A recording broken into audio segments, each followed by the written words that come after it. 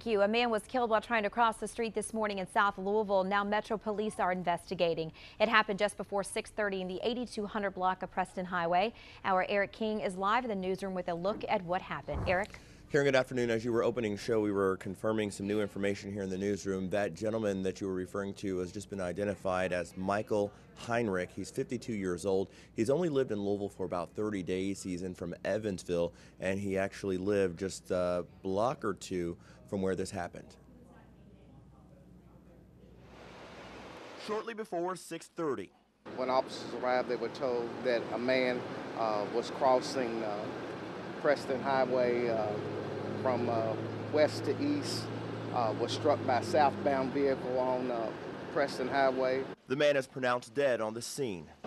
We are told that possibly he was leaving from the McDonald's uh, on foot at that point and crossing the middle of the street and struck by the, tra- uh, the southbound vehicle. The car responsible, a Ford Focus. Police have questioned the driver. At this point, we're still interviewing that particular individual. Uh, I don't believe there are any charges at this time. As of right now, police believe the man was not in a crosswalk or at a stoplight when he tried to cross the road. As you can see, there is no stoplight right there in the middle of the street. Uh, again, our investigators are investigating at this point to get a more definitive uh, uh, reason why this happened.